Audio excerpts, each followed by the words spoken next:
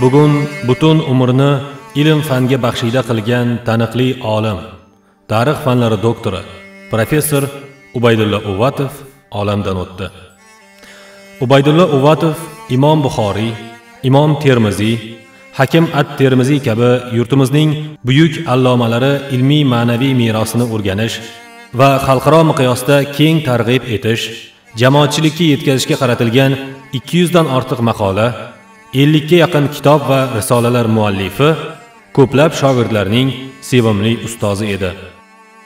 Olimning samarali mehnatlari munosib qadrlanib 2017 yilda o'zbekiston respublikasida xizmat ko'rsatgan yoshlar murabbiyi faxriy unvoni mehnat shuhrati ordeni va 2020 yilda fidokorona xizmatlari uchun ordeni bilan taqdirlangan.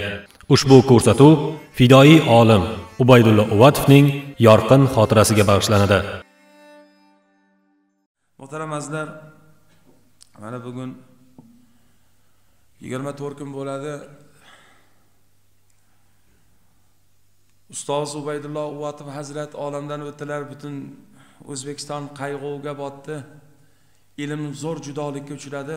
Bu odam ming to'qqiz yuz qirqinchi yilda qashqadaryoni g'uzor degan joyda tug'ilgan edilar. Bu odam ko'p yillar misrda libiyada iroqda yana bir qancha arab mamlakatlarida ishlagan juda ulug' ulug' zotlarni ko'rgan ulamolarni ko'rgan olimlarni ko'rgan katta lavozimlarda ishlagan. Birinchi prezidentimiz marhum islom abdug'anish karimov bilan hatto kabai muazzamaga kirib chiqqan. Esinglarda bo'lsa birinchi prezidentimiz Alloh rahmati kabani ichiga kirgan edilar. O'shanda ustozam birga kirgan ekanlar. Ubaydulla uvatib ham hozirgi prezidentimiz ham bu kishini ustoz deb murojaat qilardilar. Prezidentimiz ham ta'ziya bildirdilar. Xullas aytmoqchimizki shu zot olamdan o'tdilar. Endi saksonga kirib o'tdilar alhamdulillah yaxshi yashadilar. Ko'p birodarlar olim olamdan o'tdi. Olim. Olimni o'lgani judayam yomon bo'ladi. Bu qancha qancha ma'lumotlar qancha qancha bilimlar qancha qancha narsalar birga ketdi. Allohim o'sha zotlarni hammalarini rahmat qilgin. O'shalarni o'rnini boshqa yaxshilarga to'ldirib bergin ulug'larga to'ldirib bergin allohim. Qolganlarimizga sabr bergin. Endi muhtaram azizlar shu munosabat bilan o'zimiz ham aza bilan ovora bo'ldik. Undan tashqari u yoqqa borib ham g'uzorda bir kun azotishga to'g'ri keldi chunki g'uzorni aholisi ham ko'p ekan. Ziyoratga kelaman ta'ziyaga kelaman degan uch mingdan oshiq odam keldi u yoqda.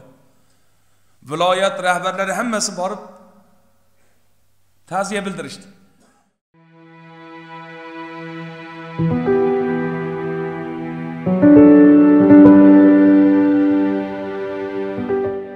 Ubaydulla uvatov.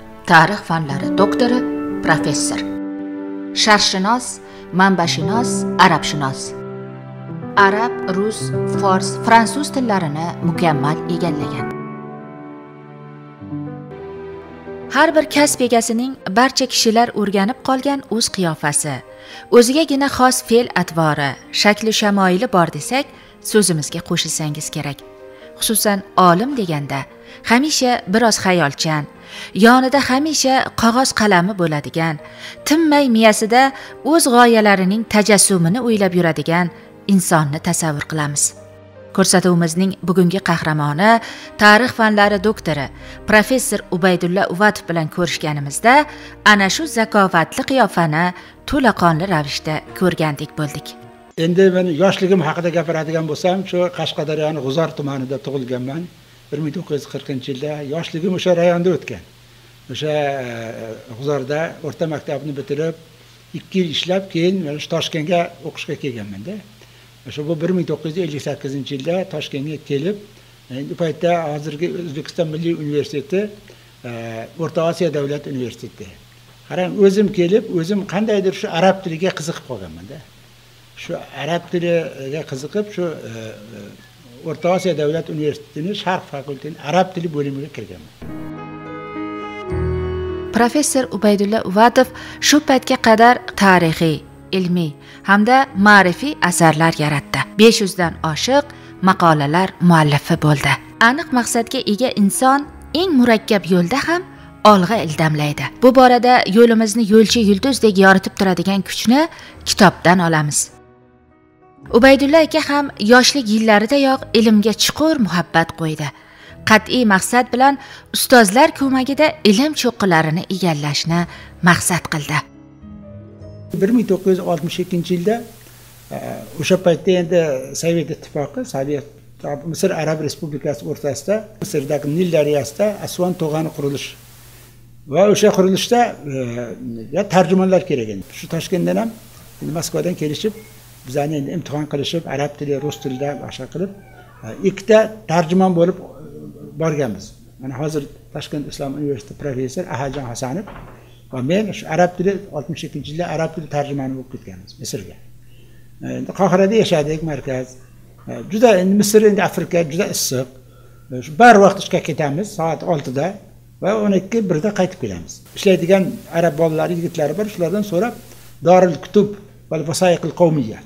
Ya'ni kutubxona kitoblar va milliy mahalliy hujjatlar degan juda katta bibliotekasi bor ekan kutubxona shu kunlarni birida men shu e, kartotekalarni tiklab qarasam shu o'n beshinchi asr arab tarixchisi ibn arabshohni e, ajoyibil mag'dur fi tarixi temur. Temur tarixida taqdir ajoyibotlari degan bir qo'lyozmasi chiqib qolgan buni olib temur haqida. Xullas shuni olib bunday o'qib qaradim men tili nihoyatda og'ir nasriy saj bilan yozilgan juda og'ir. Lekin baribir ham asta asta o'qib o'qib sekin sekin o'qib o'qib o'rgansam shunaqa amir temur bobomiz haqida. Shuni yuksak insoniy fazilatlari haqida olimlarga hurmati haqida olimlarga ehtiromi ular bilan qilgan suhbatlari jasoratlari shunaqadi bir aql zakovati haqida shunaqa gaplar shunaqa bir bir haligilar borki juda qiziqib qoldi. Xullas kalam bir yil o'sha yerda bo'ldim. Shu faqat o'sha bilan shug'ullandim endi men shu asarga bog'lanib qoldim. Bu yerda ham shu o'qiyman bilganimcha tarjima qilaman yo ustozlardan so'rayman. Ibn arabshohni amir temurga bag'ishlangan asar. Ular qarasa asarni hajmi katta. Tili og'ir. Ya buni endi doktorlik qilish mumkin. Hozircha bir yengilroq desa ham man o'zim qaysarlik qilib shuni shuni olaman deb shu mavzuni oldim. Menga rahbar qilib e, judayam endi E, asli madrasadan chiqqan yoshlar ulug' abdufatto rasulov domlani tashladilar. Va mana ilmiy apparat ya'ni izohlari yangi ilmiy tadqiqotlar tomoniga mashhur tarixchi olim asomiddin o'rinboyev ikkita rahbar shu ustozlarni yordami bilan men to'rt yarim yilda to'liq tarjima qilib uni e, ilmiy tadqiqot e, izohlarini yozdim. Xullas ishni tayyorladim. Bir necha maqolalar chiqardim. Lekin afsuski o'sha paytda akademik ibrohim mo'minovning amir temurning o'rta osiyo tarixidagi o'rni va roli degan bir risolalari chiqib judayam katta shov shuv bo'lib ketdi. Juda tanqidga uchradilar domlalar tazyiqqa uchradilar. Juda katta asosiy manbalarga tayanib yozilgan bir manba. Shu shuni manbalar asosida amir temirni hayoti haqida fikr qilganlar amir temurga qarshi juda qarshi shu boisdan meni dissertatsiyamni yoqlashim cho'zilib ketdi. bir ming to'qqiz yuz yetmish to'rtinchi yilda dissertatsiyani yoqladim. O'zbekistonni tarixiy merosiga nisbatan buyuk bobomiz amir temurga bo'lgan munosabat juda keskin tanqidiy bo'lgan edi.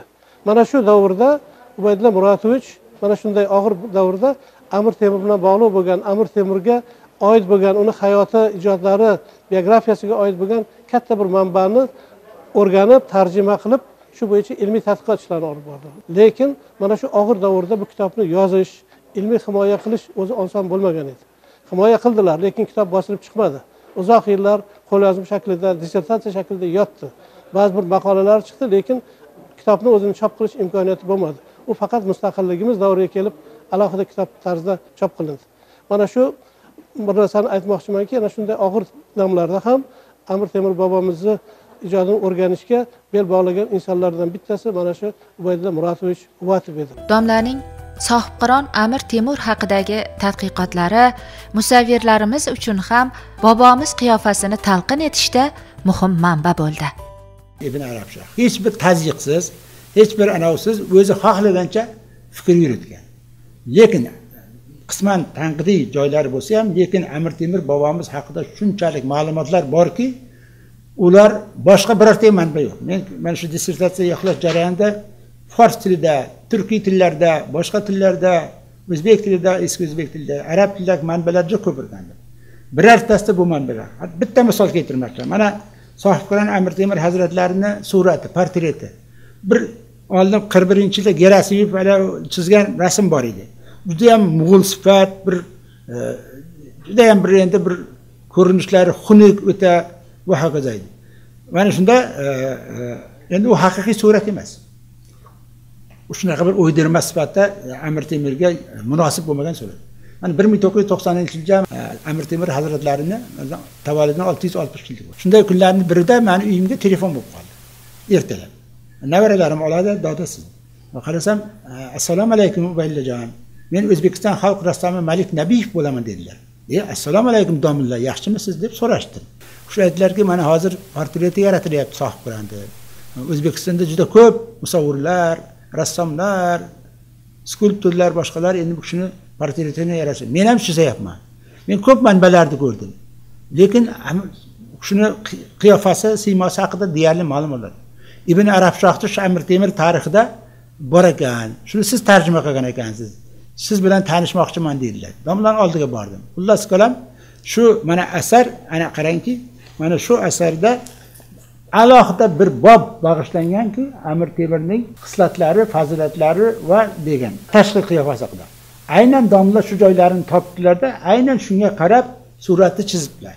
Va bir e, shu aynan shu yubiley altdan e, televizorda e'lon bo'lib qoldiki shu e, malik nabiyevning o'sha chizgan suratlari e, birinchi o'rinda olib hamma portretlari haykallari aynan mana shu ibn arabshohni ma'lumotlariga tayanib chizilgan yasalgan portret suratlar mana yozma manbani aytaylik haligi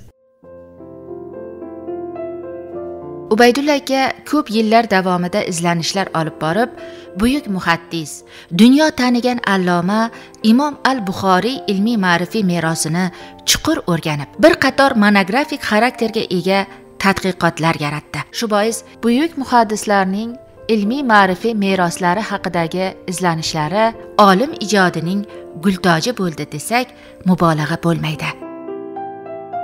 Bir kun keyin o'sha abu rayhon beruniy nomidagi sharqshunoslik institutida ishlardim. O'shani direktori akademik muzaffar muhiddinovich xayrullayev chaqirdilar. Xo'sh mani mulla ubaydulla deb chaqiradi. Nima ish bilan mashg'ul man aytdim shu temur amir temurga bag'ishlangan arab tilidagi asarlarni o'rganay bir yigirmaga yaqin tarix hammasini olib kelganman. Qohiradan bag'doddan boshlab endi bu yaxshi ishingiz dedilar xo'sh mana endi bizni shu diniy sohada mufassirlar muhaddislar faqihlar mutakallimlar ko'p o'tgan. Imom buxoriy termiziy matrudiy marg'iloniy zamaxshariy nasafiylar xorazm shoshiylar bularni kim o'rganadi men aytdim o'rganadilar. Yo'q. Bularni kim o'rganadi buxoriyni kim o'rganadi? Butun dunyoga davomga ketgan. Xullas mana shunday qilib mani o'n beshinchi asrdan to'qqizinchi asrga qaytardilar. Nima desang shu domlar yaxshi. Ana endi haqiqatdan ham mustaqilligimizdan keyin biz mana islomga munosabat keskin o'zgardi. Sobiq tizimda qanday bo'lgan edi? Odamlar otasini onasini janozasiga borolmas edi qo'rqqan biron joyga borib fotiha o'qiy olmas edi. Biz musulmonmiz alhamdulillah. Musulmon diyorimiz. Lekin umuman islomiy olimlarga mana imom buxoriy termiziy zamaxshariy matrudiy bular yuzlab minglab keltirishi mumkin. Qadamchalar xaroba holatda edi. Mana domlani men aytgan fikrlarini o'ylab muzaffar muhiddin qarangda u kishi qanchalik uzoqni ko'rgan. Mayli domlajon sizni aytganingiz bo'lsin deb keyin men bu olimlarni o'rganishga kirishdim. Ustoz e, abul mo'yin nasafiy bo'yicha keyin mana zamaxshariy bo'yicha hop yana e, usmandiy e, imom al buxoriy imom at termiziy kabi e, lomishiy kabi olimlar bo'yicha ham e, o'z tadqiqot ishlarini hali bular hech kim bularni tanimagan yoki yurtimizda ko'pchilik hali bilmaydigan davrda e, risolalar tarzida yozib berib buni keyingi tadqiqotchilar uchun bir yo'nalish maydoni sifatida bir yo'l ochib ketganlar. Oxirgi yillarda o'sha imom al buxoriy xalqaro markazida E, faoliyat ko'rsatdilar. Undan keyin mana hozirda imomat termiziy xalqaro ilmiy tadqiqot markazini e, rahbari sifatida faoliyat e, yuritib boryaptilar. Qisqa muddat ichida mana qancha markazlar ochildi. Imom buxoriy xalqaro ilmiy tadqiqot markazi samarqandda. Xo'sh islom sivilizatsiyasi markazi aytaylik toshkentda. Xo'sh abulmin nasafiy ilmiy markazi qarshida qashqadaryoda masalan aytaylik. Bundan tashqari islom akademiyasi tasavvur qilarmidi bularga shukronalar aytishimiz kerak. Bu bir buyuk ishlar. Bularni bahosi yo'q. Bularni bir qiymati yo'q. Hammanada tarixiy ish ahamiyatga ega ishlarda diyorimizdan chiqqan buyuk mutafakkirlar allomalar olimlarni elimizga tanitishda ustoz ubaydulla aka uvatovni juda katta hissalari bor xizmatlari bor. U kishi tinmaydilar risola yozadilar kitoblar chiqaradilar to'plamlar chiqaradilar allomalarga bag'ishlangan. Oxirgi ma'lumot shu allomalarimiz haqida ubaydulla akada bo'ladi chunki tinmay bu kishi e, mana shu allomalarimizni tanitishda u kishilarni asarlarini tadqiq qilishda xalqimizga yetkazishda doim e, faoliyat olib boradi mehnat qiladilar. Aytadilarki har bir inson o'z mohiyatini topish uchun nimanidir izlab yashaydi. Ubaydulla uvatov kabi ilm va ijod fidoyilari ko'ngillarni izlab yashaydigan toifadan. O'z huzuriga kelgan har bir insonga ko'mak berishdan erinmaydi. Odam o'z hayotini shunday qurishi kerakki u hayotda hech kimga xalaqit bermasin va biron kimsaga qaram ham bo'lmasin deydi ustoz biz bilan suhbatda.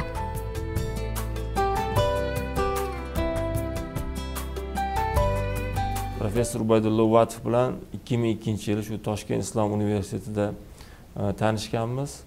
E, shunda mm, ilmiy ish qilish bir e, ilmiy tadqiqot sohasida bir faoliyat yuritish nuqtai nazaridan e, murojaat qilganimda eng peshqadam ustoz sifatida ubaydulla akani tavsiya etishgan. Shunda e, oldilariga kirganmiz. Bir said muxtor oqilov degan yosh tadqiqotchi ikkalamiz kirib gaplashib. Ular shu ondayoq menga bir qo'llarida bir asar turgan ekan. Shu asarni ko'rsatib mana mana shu hakim termiziy u bo'yicha mana bir man risola yozilgan lekin qancha ishlar qilingan shuni bir ishlasangizchi uni bir navodirul usul deb nomlangan bir asari bor. Shu bo'yicha bir tadqiqot qilib ko'ringchi deb birinchi uchrashuvni o'zidayoq e, shu risolalarni berib menga bir ilmiy yo'nalish ko'rsatdilar. Va o'sha haftani o'zidayoq men e, bu kitob bo'yicha asar bo'yicha ishlab his etdimki shu meni judayam bir mos keladigan mavzu ekan. Ubaydulla akam bilan e, bir uchrashishimiz ham demak bir e, behikmat emas ekanligini o'shanda o'sha onda ham his etdim. Ustozni mana talabalik paytlarimda shu toshkent islom universiteti ochilgan lahzalar ustozimiz islomshunoslik ilmiy tadqiqot markazida faoliyat yuritayotgan paytlardan bilaman. Bir narsaga alohida e'tiborni qaratmoqchi edimki e, ustozimizni ubaydulla akani hech bir bo'sh xotirjam yoki bir tashvishdan xoli o'tirganlarni ko'rmaganmiz. Qachonki ustozni ko'radigan bo'lsak yo bir kitobni ustida ishlayotgan yo bir qo'lyozmani titkilayotgan yoki shogirdlar bilan savol javob qilayotgan yoki biror joydan kelayotgan bo'lsalar oldilaridan chiqib salom beradigan bo'lsa ustoz qanday ahvol desak biror joyda tadbirni o'tkazib ma'ruza qilib kelayotgan bo'ladilar ya'ni shu shunaqa bir tabarruk yoshga yetishlariga qaramasdan ustoz hamisha bir jo'shqin faoliyatlar bilan biz kabi yoshlarga shogirdlarga hamkasblarga hamisha ibrat o'rnak va namuna bo'lib kelganlar. Ustozni zamonaviy tilda bir so'z bor. Motivatsiya deb qo'yishadi yoshlar. Ya'ni e, rag'batlanish qiziqish.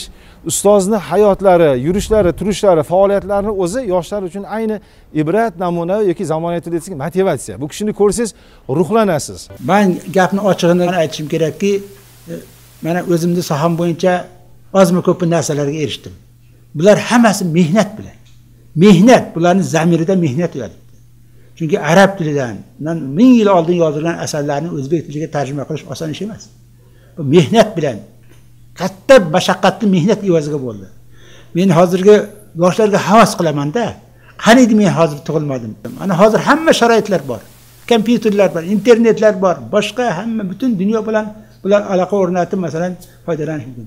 Shuning uchun men doim mana yoshlarga kirganimda darslarga ularni shuni ta'kidlayman. Sizlar juda baxtli insonlarsizlar. Baxtli zamonga to'g'ri keldilaring. Endi o'qish kerak mehnat qilishga o'rganish kerak o'z ustida ishlashga o'rganish kerak. Mana bir ming to'qqiz yuz to'qson to'qqizinchi yilda islom universiteti ochildi. Endi men hozirgi buxoriylar termiziylar zamaxshariylar moturudiylar xo'sh naqshbandiylar chiqishini xohlayman. Mana biz qanday bir tinch xotirjam yurtda yashaymiz. Mana shuni o'zi buyuk baxt mamlakatimiz butun dunyo miqyosida eng peshqadam hamma sohada eng peshqadam mamlakatlarga aylanishini juda juda istayman tilayman. Va shunga qo'limdan kelgancha xizmat qilishga tayyorman shunga harakat qilaman. Professor ubaydulla uvatov o'zbekistonda xizmat ko'rsatgan yoshlar murabbiysi unvoni bilan taqdirlandi.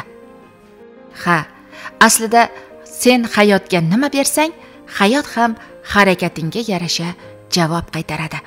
Ko'rsatuvimizni boy ilmiy va hayotiy tajribaga ega bo'lgan qahramonimizning fikri bilan yakunlamoqchimiz.